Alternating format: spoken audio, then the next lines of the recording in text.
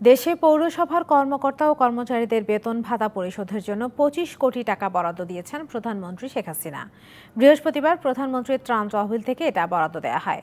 দেশে তিনশো আটাশটি পৌরসভার বারো হাজার পাঁচশো উনিশ কর্মকর্তা কর্মচারী ও আউটসোর্সিংয়ের মাধ্যমে নিয়োগ দেওয়া বিশ হাজার পরিচ্ছন্নতা কর্মী এই সুবিধার আওতায় আসবেন।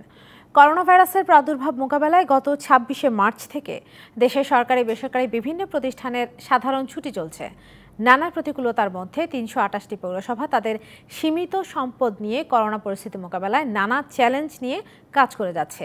নিরবিচ্ছিন্ন পানি সরবরাহ, পরিচ্ছন্নতা কার্যক্রম, বিদেশ ফেরতদের কোয়ারেন্টিন ও সামাজিক দূরত্ব নিশ্চিতকরণ, মাস্ক বিতরণ, জীবাণুনাশক স্প্রে, মৃত ব্যক্তির লাশ দাফন, ত্রাণ বিতরণে পৌর কর্মচারীরা কাজ করছেন। পাশাপাশি ডেঙ্গু নিয়ন্ত্রণে এডিস মশা দমনে তারা সক্রিয়ভাবে কাজ করছেন।